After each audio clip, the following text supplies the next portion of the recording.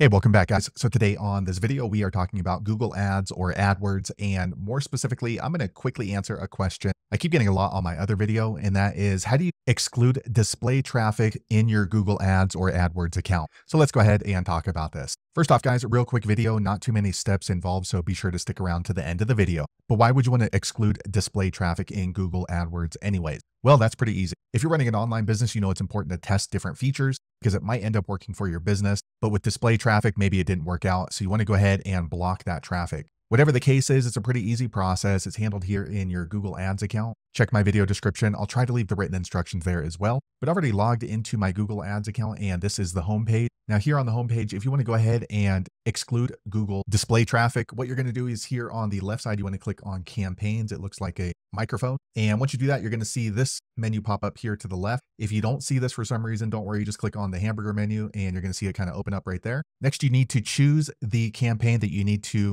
remove the display network setting. And what you do is click right here on campaign. Once you do that, you're going to see a drop down menu and click on campaigns. Okay, so once you do that, you're going to see all of the different campaigns that you're running inside of Google Ads. And in order to remove the display traffic, go ahead and find the campaign. So for example, this one right here. And when you hover over the blue name, you're going to see a gear icon to the right of it pop up. Go ahead and click on the gear icon. Okay, once you do that, you will be in the settings for that one particular campaign. So You can verify the campaign name right here. And in order to remove it from the display network, scroll down until you see this line right here called networks. You can see this campaign was only running on Google search network. And what you want to do is go ahead and click on the arrow next to it. Okay, once you do that, it's going to open up the networks box. So you can see that you have these two options, search network and display network. So if you want to remove the display network traffic, you want to go ahead and make sure this is not checked. If you're looking at it and it has a blue check mark in it, that means your Google ads are showing up in the display network. So you just uncheck the box and you're not done until you click on this blue save button. Okay, so now we went ahead and removed the Google display network. So my AdWords will not show up in the display network.